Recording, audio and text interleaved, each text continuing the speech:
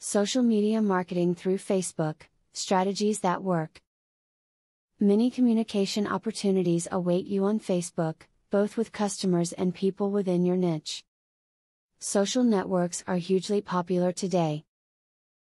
You can take advantage of this and use Facebook to help market your business and show the world what you have to offer. If you don't have time to maintain a Facebook page for your business, you can still use Facebook for marketing. Facebook provides ads on their site which can easily be hyper targeted towards your exact target demographic, from their sex and age to their likes and dislikes, making your campaign hyper successful, too. You can expand the fan base of your Facebook page by holding contests, so make sure you take advantage of that opportunity. Reward them with prizes and incentives if they like your page. If you do offer a cash or gift prize, though, make sure it is actually awarded.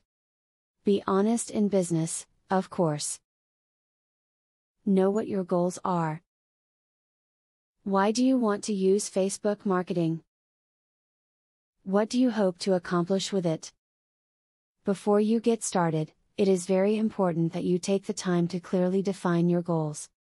Decide on an effective strategy. Try to get it right the first time. Make custom tabs on your Facebook page. You will automatically have a few tabs set up for you when you first create your page, but it is possible to get creative and add in a few of your own. For instance, think about including a tab that has links to information that you find valuable.